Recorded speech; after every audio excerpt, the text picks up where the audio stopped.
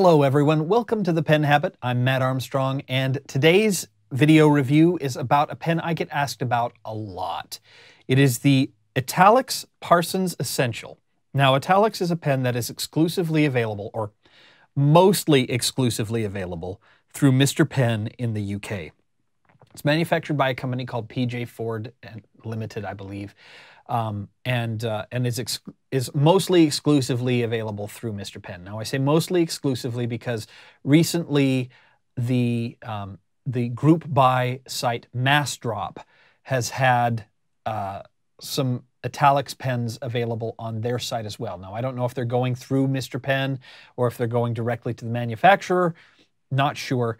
Um, but that is the case. Now, this is an English made pen uh, it's a metal bodied pen, fairly standard design. There's, you know, it's nothing, there's nothing particularly flashy about the design. But one of the, th the interesting things about this pen is this is a pen, a well-made pen that is quite affordable and very much in the same price range as other entry-level pens.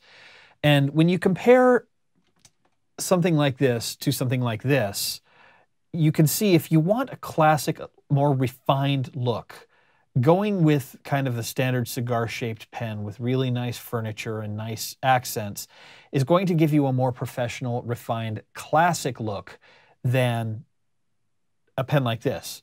And these two pens cost almost the same, just about the same amount of money.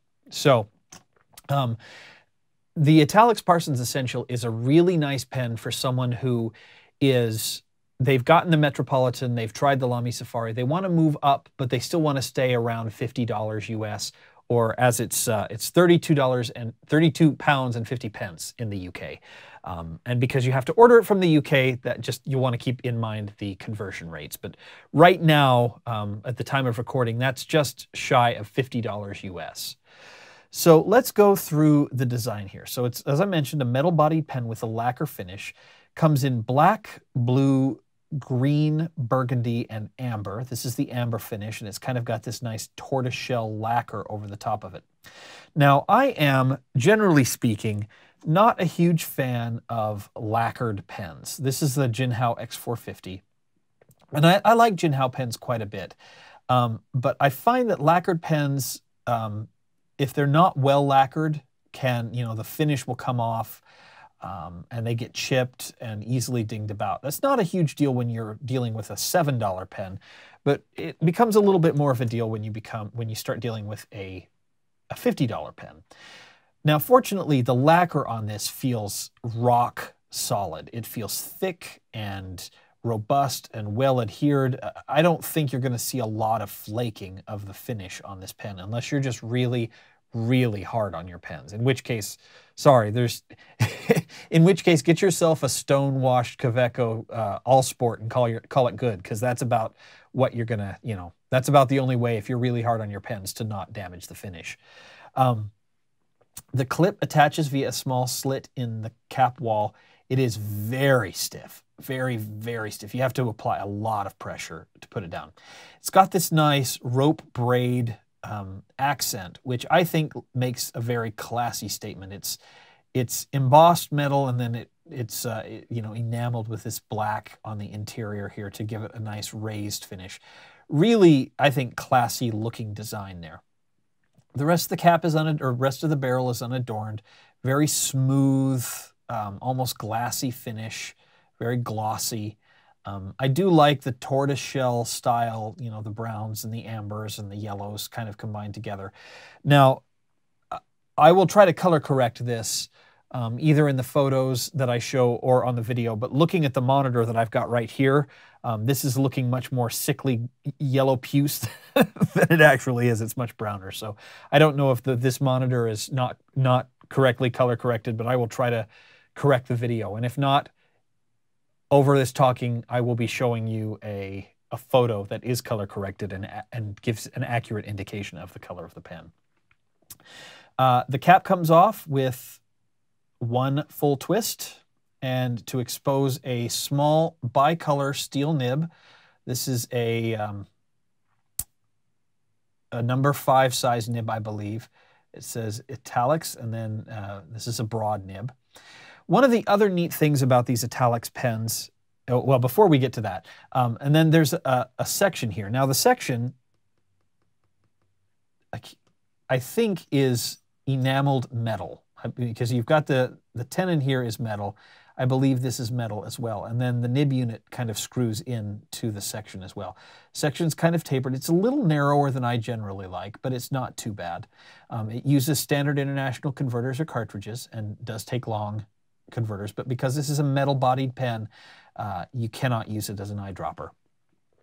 And you'll notice there are metal threads on the inside here, uh, but these are very smooth. Some of the smoothest metal threads I've ever used before. Very well machined and, and well polished. And I should also point out the cap, the threads on the inside of the cap here, it's, I think what they've done is they have lined the entire metal cap with uh, a plastic cap liner. I'm pretty sure these are plastic threads, um, but you can see this black lining go all the way down. It gives the pen some heft and makes it feel very, very smooth. Tight threads again, um, really nice finish that you don't often get um, from metal-bodied pens. A lot of times metal-bodied pens use pop-top caps, um, which I'm not a fan of generally, or um, or the metal on metal threads tend to get squeaky, uh, which I'm really not a fan of. So they've taken a lot of care to build a really solid well-made metal-bodied pen here. This is probably one of the my favorite metal-bodied pens I've used, aside from the Faber-Castell Loom, which I reviewed back in season two.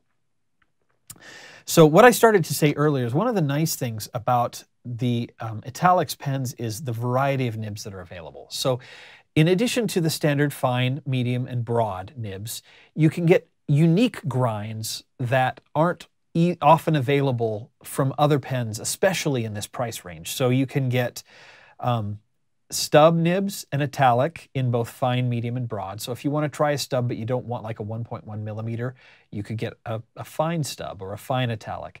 Uh, if you wanted to try oblique nibs, they have both left foot and right foot oblique nibs and in medium and broad, and they have medium and broad oblique italics and round oblique nibs, um, which is another variation that you just don't see very often.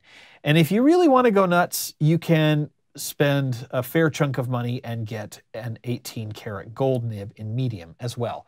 So there's lots and lots of nib options and you can buy the nibs separately. So this, for instance, is a nib unit that is a medium oblique nib unit which is really cool because a I've you can't get medium obliques unless you have them custom ground anymore, and uh, but I got one, and they send a whole section and another converter and the nib already. All you have to do is unscrew one from the pen and screw another one in, and you're good to go. Um, so I'll be doing a little bit of writing with both of these, um, but I prefer the broad over the medium oblique, and I'll explain that when we get to the writing sample.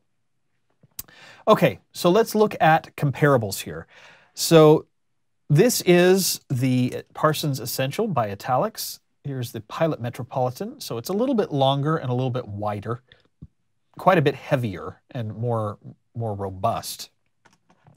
Uh, here is the Lamy All-Star by comparison's sake, about the same length, but again, a classic look, kind of contemporary, and I think rather childish look. Um, I'm sure I'll get angry comments about that, but Everyone knows I'm not a huge fan of the Safari All-Star Vista design. It's just not my thing. And then here is the uh, Jinhao X450, um, which I, I don't know if this comes through in the video or not, but to me, this just looks much nicer than this. This, there's nothing wrong with the Jinhao. They're good pens. I like them quite a bit. But if I were to put them side by side and say which one looks like it is a nicer pen, this would be the one I'd pick every time.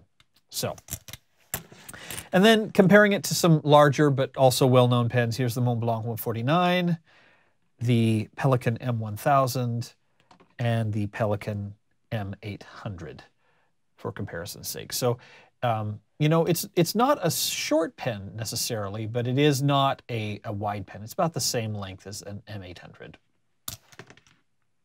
Okay, and measurements, we're looking at 140.6 millimeters in length when it's capped. Uncapped, it's a touch on the short side at 124.5, but if you've got smaller hands or you you hold your you know your pen a little bit further up like that, I tend to hold mine like this, so it, it ends up being a little feeling a little short for me. Um, so 124.5 there, and then it does post, and that plastic cap liner helps it post very very securely um, at 161.4. And I write with this pen posted. It's very nicely balanced in the hand. The cap is quite heavy on its own, um, but the way the cap falls in my hand and the way I end up holding the pen, where I grip the pen, um, this is a pen I actually prefer to use posted as opposed to non-posted. The section is a little narrow. It's about 10 millimeters in the middle of the section. Um, I usually end up holding it up here right on the threads unfortunately, because this if the section were you know a few millimeters longer, I think I'd be okay. But um, because this is such a short nib, I end up having to hold the pen a little bit higher up on the grip here, and uh, yeah, so so I usually hold the threads. Fortunately, these threads are plastic covered and they're quite uh, quite smooth, so I don't notice that too much. Widest point of the barrel is 12.8 millimeters, and the widest point of the cap is 14 millimeters.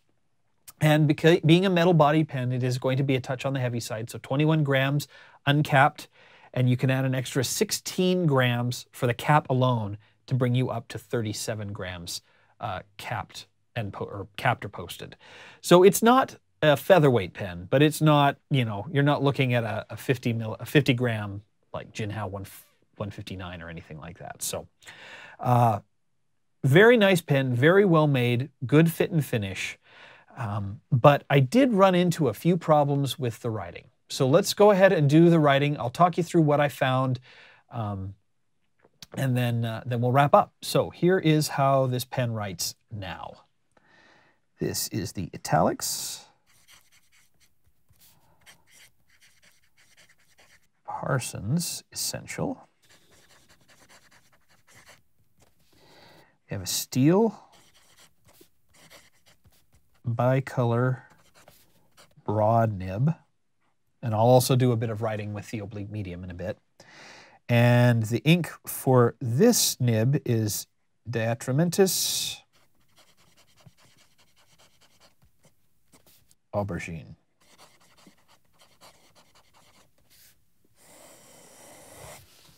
Okay, here I'm going to go ahead and post the pen for my preferred writing style and do the quote.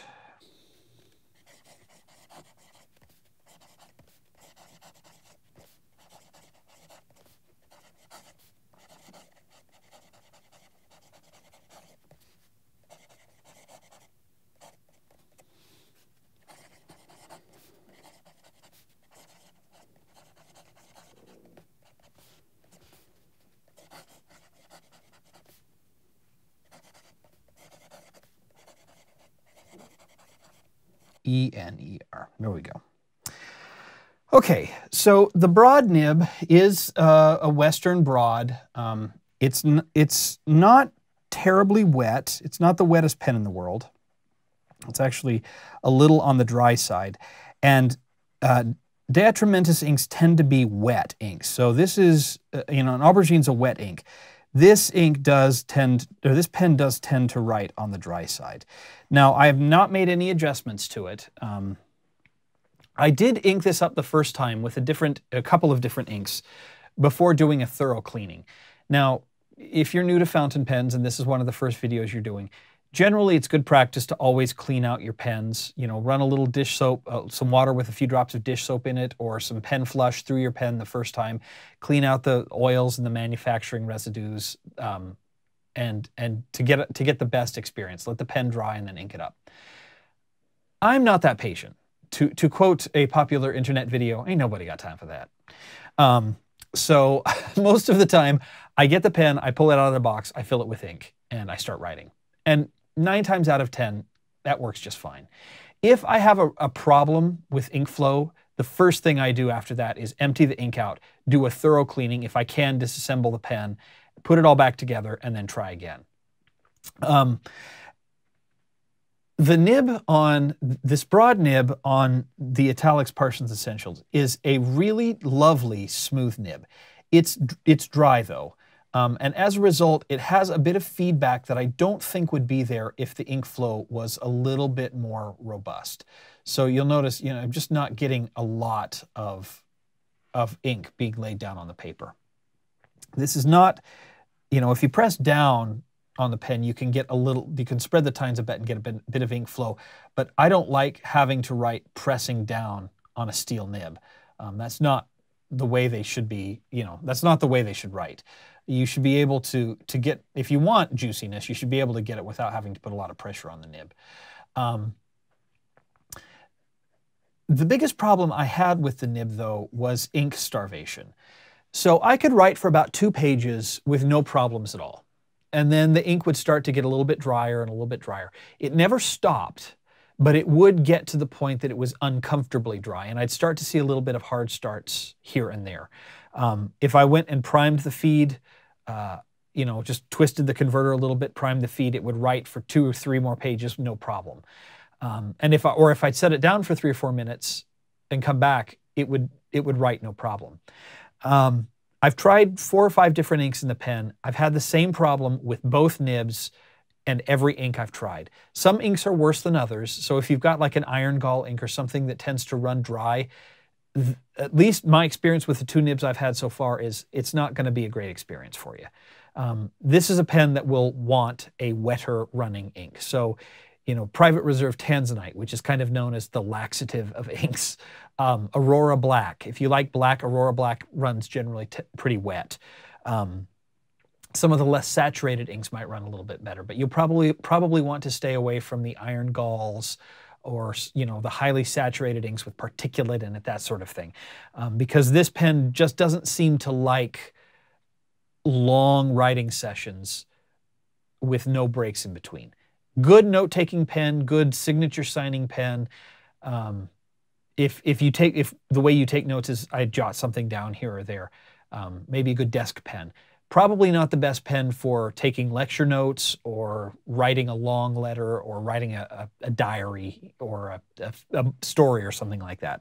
Um, and that was the case with both of the nibs. Very smooth, um, no hard starting, no skipping, none of that kind of stuff. Um, you know, I could write with no pressure.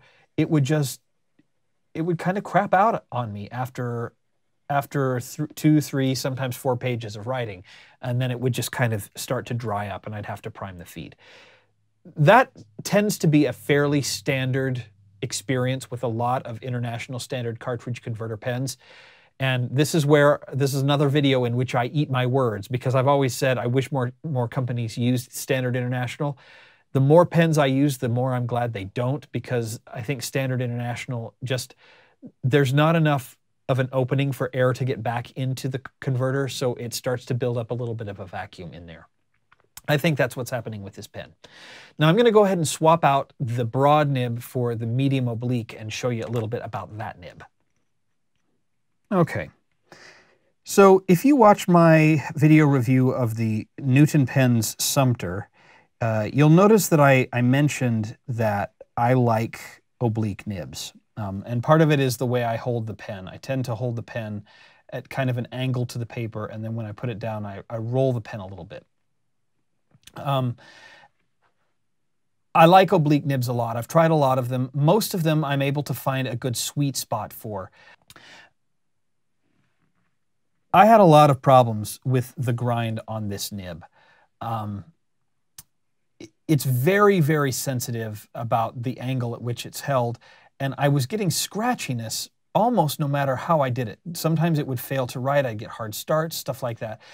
I've never had the same problems with an oblique nib as I have with this one. And so I, I generally, I'll try to show you here. I generally try to balance my pen on my knuckle right here. The only way I can get this to write nicely is if I balance it down there in the web of my thumb. So here, and I'll slide this up a little bit the angle is wrong and I get sc scratchiness. Um, you know, it's it, if I put it down here, I think, and what I think it is is the angle of this nib is steeper. The angle of this oblique is steeper than the angle of um, other obliques that I've used. It really does not like being written with straight on. Um, they this this could be smoothed a little bit more. So this is a, a kind of an, an, unusual oblique grind for me. It's not a bad grind, and if I do find the, the sweet spot, it works out well. Um, let me again pull the dark background up so you can see this against that background. Um, but it, I don't know, it's this, oh, this particular oblique does not fit my grip style particularly well. So that's just something to be aware of. Um, if you want to try the oblique, different oblique different obliques are ground in different ways and different angles. Um, this one didn't really sing for me, um, but it's still, you know, if you want to try an oblique, it's not very expensive to buy an additional nib unit. You know, I'd, I'd say give it a go, and if if you don't like it, you're out five ten bucks. It's not the end of the world. But if you like it, then you know, then you found something for not too much. So overall, I like the Parson's Essential. I wish I could like it a little bit more. I like the design. I love this little, this, you know, rope braid band here.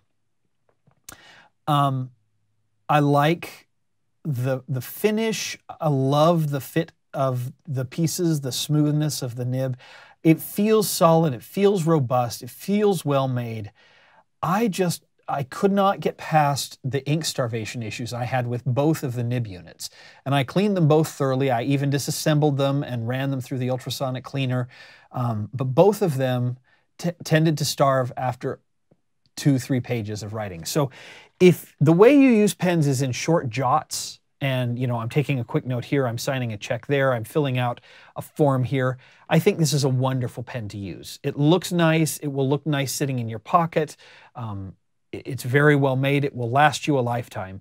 If you're the kind of person who takes your pen and sits down and pens four or five pages in a row, just know you'll probably have to, at some point, take the section off, prime the feed, and, and screw it all back together. At least that has been my experience on the two nibs that I have tried. I know other people, including my good friend Stephen Brown, just sing praise after praise after praise for this pen. Um, that was not my experience with these. I don't dislike them. Uh, I just wanted I just wanted to share my experience so you know that that's what I saw when I use these pens for extended writing. Thank you for watching. If you have questions or comments, if you've had a different experience with your Parson's Essential, please leave that in the comments either on penhabit.com or on YouTube. And uh, if you have any questions or comments, you can email me directly penhabit at gmail.com. Thank you so much for watching, and we will see you here next time on The Pen Habit. Bye.